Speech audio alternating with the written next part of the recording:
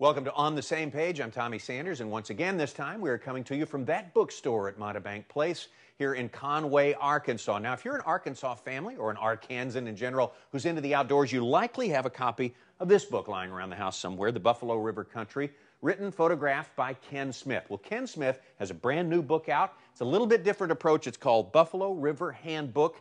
And we're thinking this is a book that's going to be seen in a lot of Arkansas homes in the years to come. We will visit with the author, Ken Smith, and a panel of Arkansas readers, so stick around.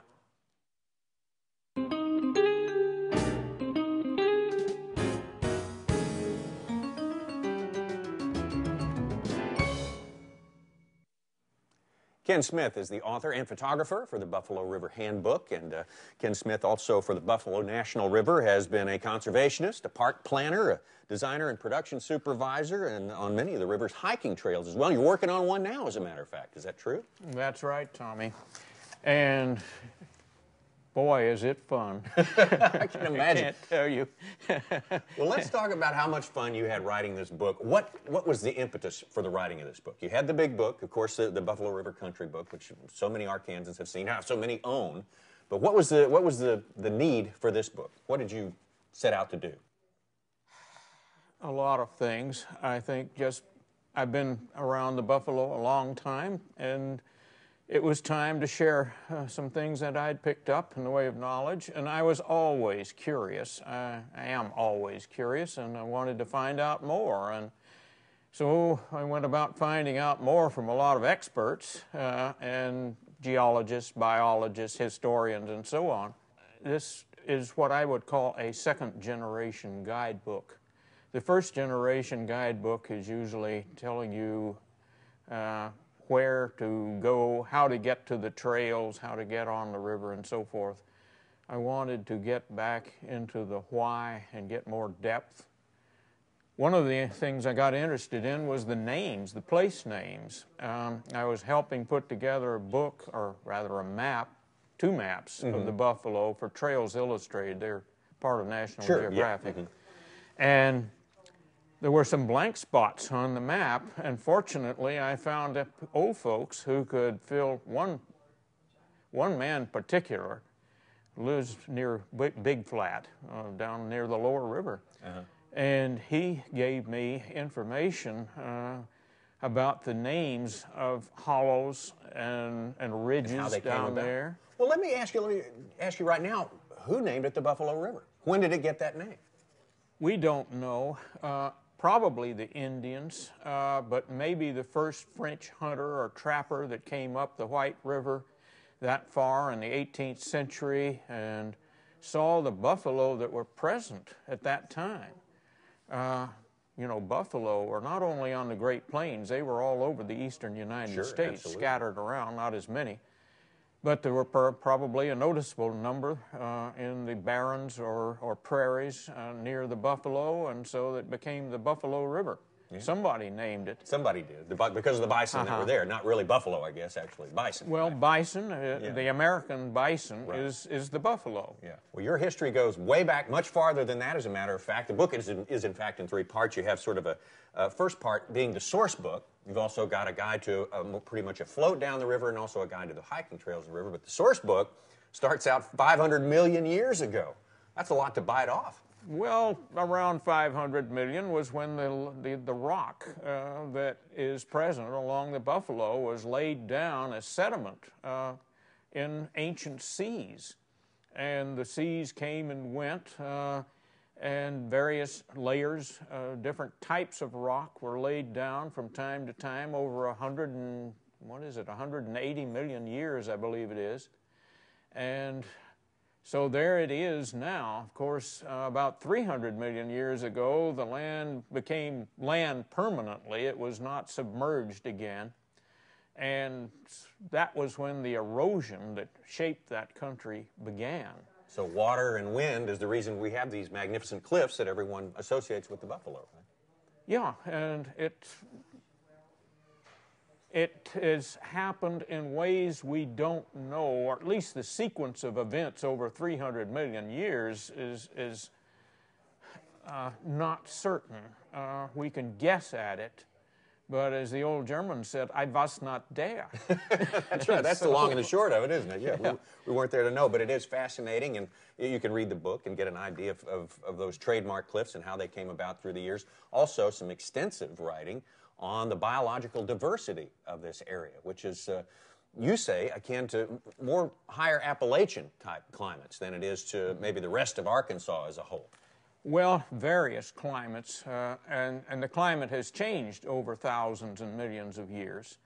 Uh, the, what can I say? The, another thing is that you have a variety of, of uh, exposures today that make for very different uh, life forms or collections of life forms the south side of a ridge up there can be entirely different in its plant community from the north side. And I guess that goes for animals to a certain extent too. Yes, so too. That's why you see the, the big beech forests on the north sides of ridges and something different on the south side, yeah, right? Yeah. Uh, greenbrier. Greenbrier, that's what you call it. sun-loving plant called greenbrier. Greenbrier, that's that's what I the know south that very well. Are. Yeah. Well, it's all in the book, very fascinating. And then, of course, we go through the human history as well in this first section of the book. A lot of highlights there, and as you mentioned, a lot of uh, articles that you work up and work into the text, and sometimes just set there as inserts visits with people, like you mentioned, the, the people who've given you the human mm-hmm. history that's, that's not written down. You, you had to do a lot of legwork to get a lot of these things. Well, a lot of that history, of course, is tied into specific places, and it was an idea of giving some depth to the history of a place like Woolum, which is nothing more than a landing on the river, but it was had an identity as a community. Or just across the river in Richland Valley, uh, in the trail guide, I talk about uh, the community of Point Peter. Uh, it all had pretty well disappeared 50 years ago, but back in the 19th century, it had a post office. A lot and, of lost towns and communities all up and down the oh, Buffalo. Yeah. It's really fascinating uh-huh. to read about them in the book. And the, the human history kind of concludes with your account of, of how the river escaped being dammed for hydroelectric and flood control purposes, which is really remarkable for a river of that length anywhere in this country, right? That was a controversy that went on for 10 years, and it is typical, more or less, of all the controversies that have taken place over the creation of national park areas. There is always a local community looking for economic betterment and a larger community of people from outside the area who see the place as unique in a larger sense unique in the case of any national park area, I'd say, unique in the entire United States. And the Buffalo is the most spectacular scenery of any river in the Ozarks.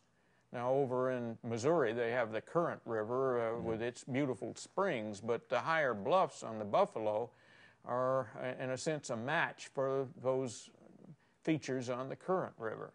So it's really a treasure, and, and, we're lucky to have it. I guess we can all agree on that.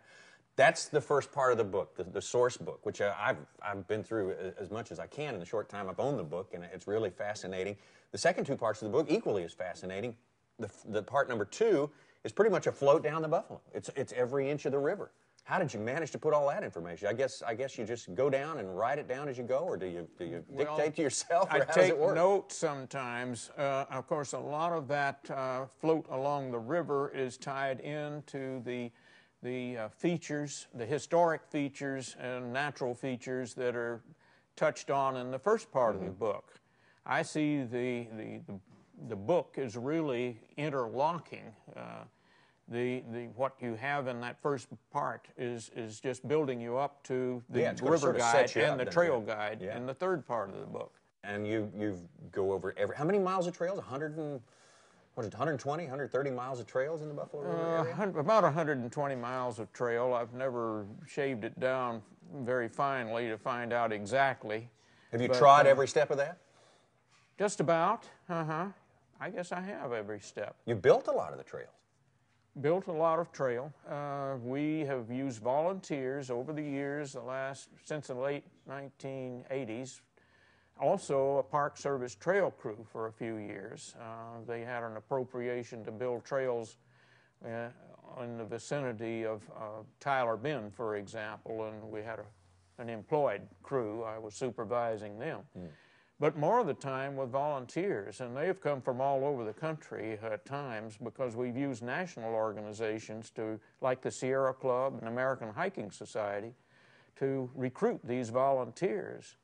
At one time, I had counted, I think, 30 states and two or three foreign countries uh, that were represented among these volunteers. Well, that's fascinating, too. And of course, that's part, I guess, the river doesn't change, the history doesn't change, but as you revise this book in the years to come, the trails are what you're going to have to revise the most, right? That's right. You, you've hit it. Uh, and that when we have, we're building or just beginning to build next year uh, a 25 mile stretch of trail.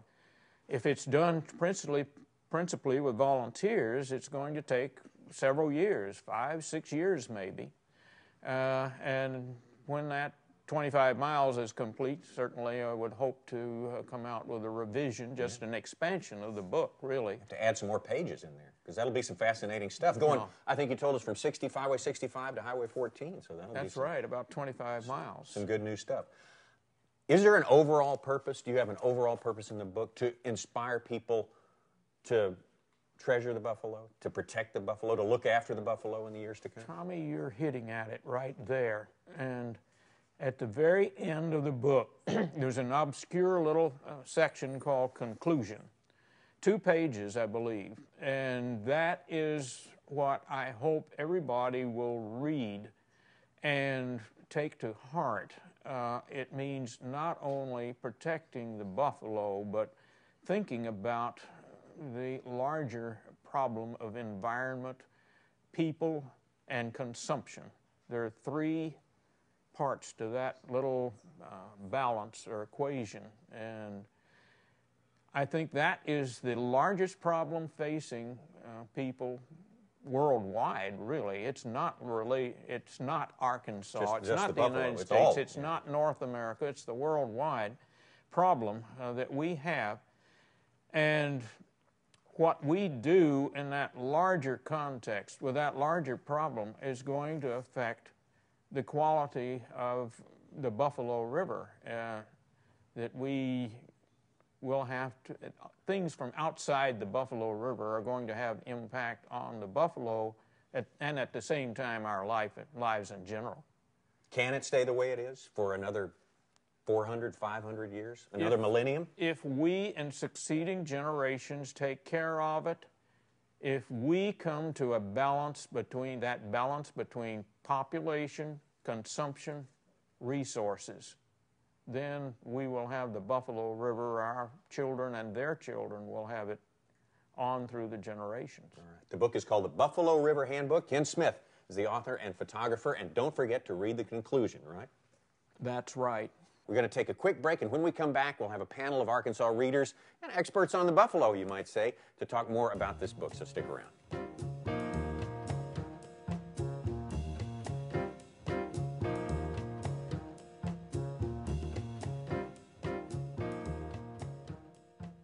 All right, we're back, ready to talk to our readers about the Buffalo River Handbook. Want to introduce them to you right now, including Larry Foley. Larry Foley, Associate Professor of Journalism at the University of Arkansas, award winning independent film producer. And uh, before he became so independent, he was actually a full time producer for this network, for AETN. So it's good to have Larry Foley back here. Dana Stewart is a writer, formerly taught at Hendrix College and other places as well, works with the Little Rock Writing Project. Uh, has won the top nonfiction award from the Arkansas Literary Society, and we should, uh, in, sense of disclosure, says she's a member of the Ozark Society, who are the publishers of the Buffalo River Handbook. So now we got all that out on the table. And Mike Mills, the founder and operator of the Buffalo Outdoor Center, which was set up, I guess, when the, the National River designation was pretty much brand new up there in North Arkansas, and he has done an incredible amount of work for tourism in Arkansas in general, Buffalo in particular, and sort of the face of the Buffalo River. When the people from the magazines and the TV networks come to the Buffalo, they find this guy and talk to him about the Buffalo River. So thank you all for being here. I'm assuming you've all read the book. Is this a book you sit down and read? Or do you, do you keep it like you, like you keep the encyclopedia? You, you go for what you need when you need it? Both. You've read it all, Dana? I've read it all, and I enjoyed it as a read, but I also plan to take it with me when I canoe. Using it for both. Mike, did you read it all? Yes, sir. Uh, and, and I would agree with that. Uh, Ken says that you're supposed to take it off and just read bits and pieces, but uh, certainly the the entire book is real readable, and you learn so much in doing so. And then I can understand the going back and getting it again because you can't digest it all the first time. So you're going to have to go back and and really when you're there on the spot is when it, or, or at the evening after, whatever, is when it would really be great. Sure. That's when it could really come alive for you. Have you read it all, Larry? Absolutely, Tommy. You know, there are books out about that have a lot of pretty pictures in them, and this mm-hmm. has nice pictures too, and, and, and books out there about hiking the trails. But one of the things that I think Ken does a really good job with this is that he really tells the history, the whole story of the buffalo. The, you know, the geology, the natural history of the buffalo, the story of the people. Mm-hmm. Um, you know, the uh, the mining. The, you know, the, the floaters, the early settlers, the pioneers, and it's a really good read. So I think it's it's actually two things. It's a good book if you like the buffalo. It's a place that you you want to go to or you've been in the past, and it's also a good book to you know, to, to throw in the car when you're going to go up there and float or hike the sure, next time yeah, because it's a good reference and it'll take you to some interesting places that maybe Ken's been to that you'd like to go to. Yeah, absolutely. You have won awards for your research, just your research. Not, not let's not even talk about your films, but your research. And how would you rate the quality of Ken Smith's research on this book? Well, it's very thorough, very complete. Um, it's the book is crisply written, which as a journalism teacher I think is important. It's a real interesting read. Uh, Ken is meticulous with the information that he has has acquired for this book, and I would um, I would rate this an important uh, piece of work, uh, Tommy. Uh, important for not only those of us who want to go to the Buffalo now and who are interested in the story, but uh, let's just say that that I'd like to do a documentary on the buffalo, which is not a, a half bad idea. I, I, think that this. well, you is, don't make that. You, you've been wanting to do that for a long uh, time. Exactly. I think yeah. this is the first place you go, right here. All right. That's that's, that's that's a good point. Great point. Danny, you are an Ozark Society member. You're you're a writer and a writing teacher, so you're going to be a tough customer to please with a book like this. How does it stack up for you? Well, beyond all that, on a personal level, Ken says he was a curious guy who wanted to right, know more and want to know why. And as a writer and writing teacher, I think there's a large piece of us that wants to do that. So he tells us why, and he does a good job of telling us why. I agree, it's crisply written, but also it's charming narrative at times. Charming narrative, uh, armchair narrative. The, the source book is uh, the first part of the book, um, is just a good read. And you, you read this, and, and you, you, you, you find all this wonderful information but you sort of take for granted, you know, that this is easy to write. It's not easy to take it's this not. raw information and transform it into something that's readable, right? In fact, I think the reader, that is a difficulty for the reader. There is so much here that accessing it, you just sort of have to, to go with the way Ken goes. And dog ear. That's right. That's right. or are you going to highlight it? See, I've got a long. yeah, that, yeah. Look, at see, that's I guess yeah, that's why they say you shouldn't dog ear because books are your friends, and you wouldn't do that to your friends. Mike, you are you walk. You've been through every inch of the Buffalo River. You are the walking encyclopedia of the Buffalo River, uh, along with uh, Ken. And uh, how does the book stack up with you? Well, I, I certainly uh, am flattered that you'd put me even in that category. Uh, uh, Everybody I, knows I, that. I, I, don't think that I'm a walking encyclopedia of the Buffalo. Much of what I have learned came from Ken's first book, the Buffalo River Country right. book. Great and, book. And, and, that's what this is just an extension, uh, of a vast greater extension of that book. Uh, the river mileage, the the names of the bluffs, the names of the swimming holes, the and, and not only the names, but how that name got attached to yeah. that spot. Uh, those are things that an interpreter like myself, who deals with thousands of tourists a year, I can use that as a resource to, to draw a more educated uh, picture for a guest. And to humanize and, a lot and, of the places. And humanize. And, and, I've done that for years, once again, uh, not only from my own experience, but basically using Ken Smith's uh, uh research that he did on his first book all he has done is just done a whole lot more research and and applied it in a different manner. And when when it's used when it's the title of it is Buffalo River Handbook, that's exactly what it is. I mean, this is the type of book that you put right beside the Webster's Dictionary and the Bible because that's what it is. it, it, it's it's the it's the book that you're going to refer to over and over again about the Buffalo River. It is the essential, and it is the encyclopedia of, of the Buffalo River. I guess as as far as we have right now. The style is very straightforward, and Dana mentioned that. It's, it's very what we call transparent in that it, it's, it's, it doesn't attempt to editorialize. You don't, you don't read it and say, wow, this guy's really trying to write real hard. you know, it's very straightforward. And that's hard writing to do. Well, I you mean, it's harder than it seems because it, it seems very easy to read and you think, well, you know, this is, this is easy, but it's not, is it? I, I don't remember who said this, but, but I've heard it said that good writing goes unnoticed. Right. You know, you're not really Exactly. paying attention to the to the prose. You're just looking at the information, and, and he he brings forth some really interesting stories. Even if you think you know the Buffalo River and you know the story, well, maybe you don't know that the the Tyler Bend was named after a guy who, uh, either him or his family, I think it was him.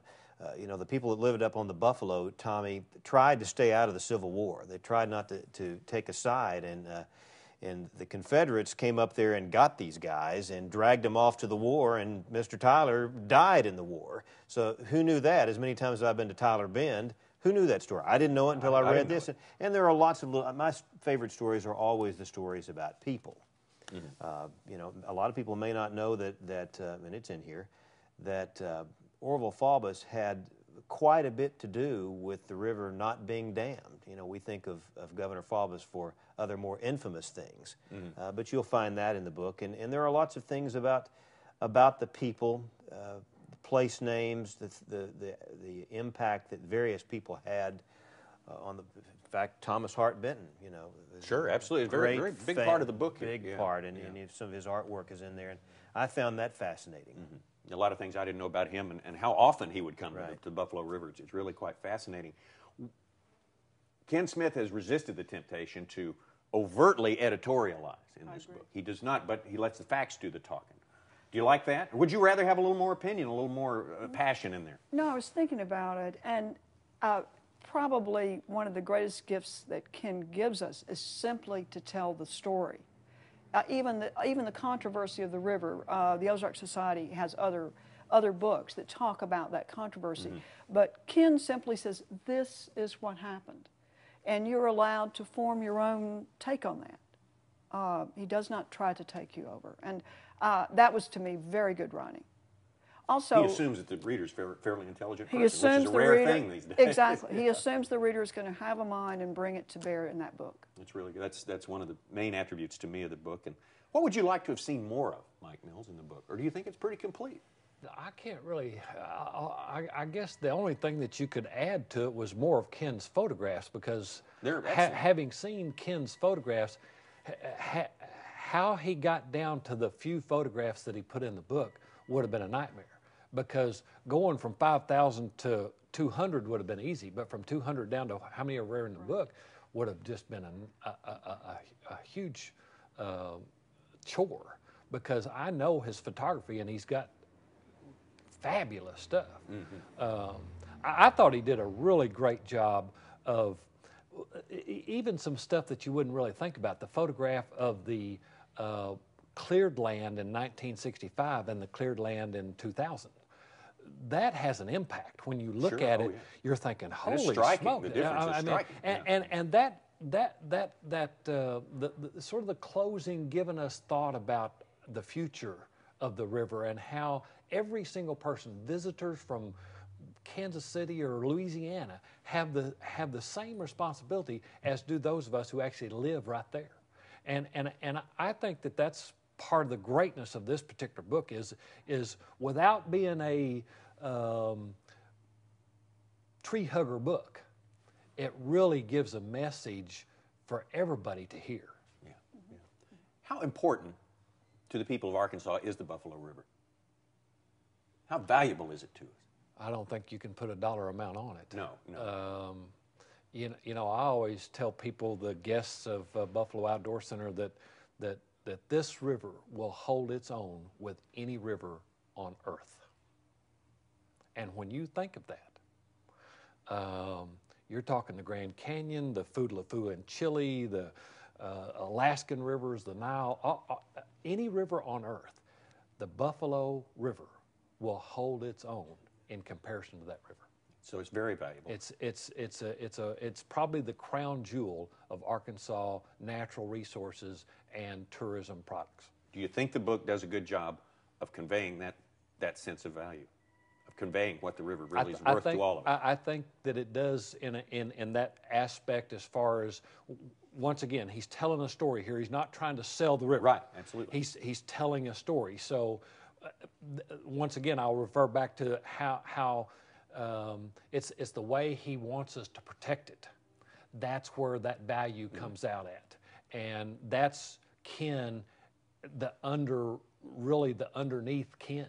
And, and I've known him since 1967, and, and, and that's him. Yeah. And so there, that's the message there. The, the value is, is not projected, it's just underlying. Yeah, but you can find it. You can you find can it. find it in there. What else besides the, the Tyler Bend thing that you found in the book that surprised you, Larry Foley? Well, I mean, there are a lot of things in there. I didn't, I, I'd been by um, Rush. Uh, that's where the Mm-hmm. the old- ghost town is, sure, right? old And, and you know. I knew it was an abandoned mining town, but I really didn't know what they mined there. Uh, and I've been to the Buffalo many, many times. But he goes into talking about that, and um, you know, I think that the depth of what Ken writes about is as important as anything. You, maybe you knew a little bit of something, but he goes into more depth.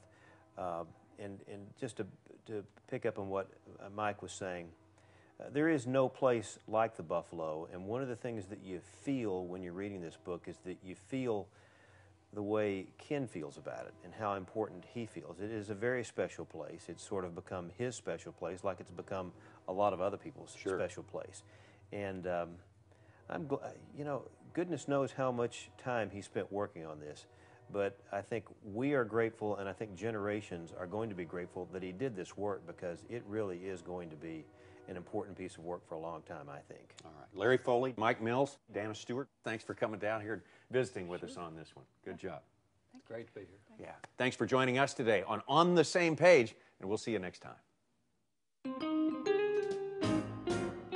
You can carry it with you in the canoe. Pretty easy. You know, the idea is that you can take it, and it is an all year guide to the river, and that the buffalo is an all year, uh, what I'll call a scenic resource. The Buffalo River Handbook is coordinated with Trails Illustrated Topographic Maps. For more information about AETN Presents on the same page, visit aetn.org.